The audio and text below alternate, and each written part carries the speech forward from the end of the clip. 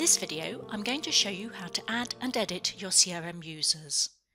To do this, you'll need to be a system administrator so you can access the user settings. Users can be either the people at your organisation who can log into the CRM system, or they can be holding places for accounts that are not being dealt with by a specific person, for example, marketing. You can have as many users as you like, but to access the CRM, a user must be set to live. To add more users, first check how many you're permitted within your CRM subscription. To see this, go to Settings, then open Manage Subscription. Here you'll be able to see how many live users you already have and how many licenses you've available to use. If you've reached the limit, you'll need to increase your user license. You can do this by opening the Change Plan and Options page and clicking the User Plus button. In the plan breakdown below, you will see how this affects your subscription fee. To confirm the change, click Save Changes to Plan.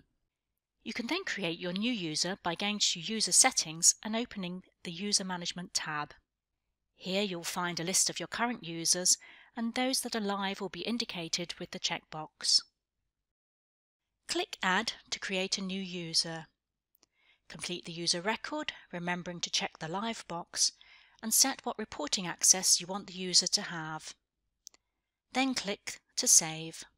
The new user will receive an email with a link to activate their account and create a password. If you want to edit a user at any time, simply click on the username to open the account. If you want to reset a user's password, you can generate a reset link from the user record.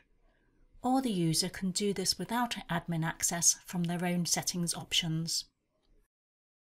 To reduce your user license, first check how many live users you have and edit as necessary by opening the user record and unchecking the Live button.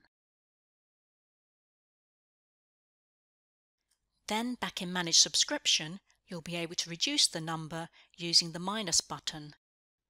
Then save. That's it. For more help in managing your users, do take a look at our Customer Support Hub.